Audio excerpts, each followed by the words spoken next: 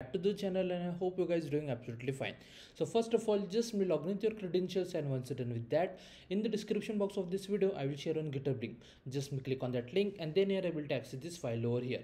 Just scroll down open this URL in incognito window it will activate Cloud Shell. Meanwhile just me come back over here and from here you can see this curl command.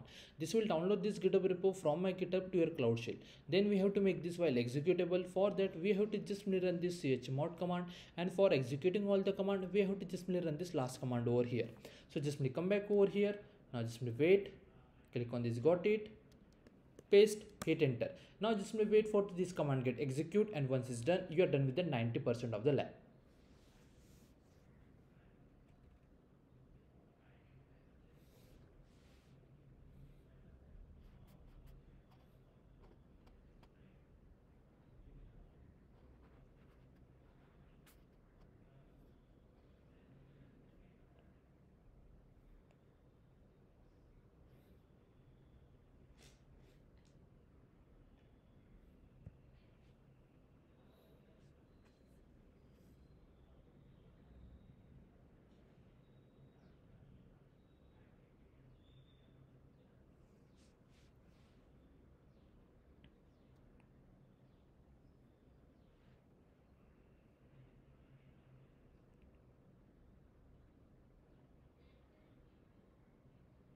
and is finally done.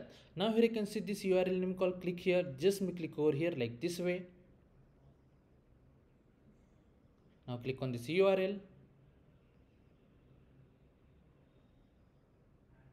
now click on this add a book.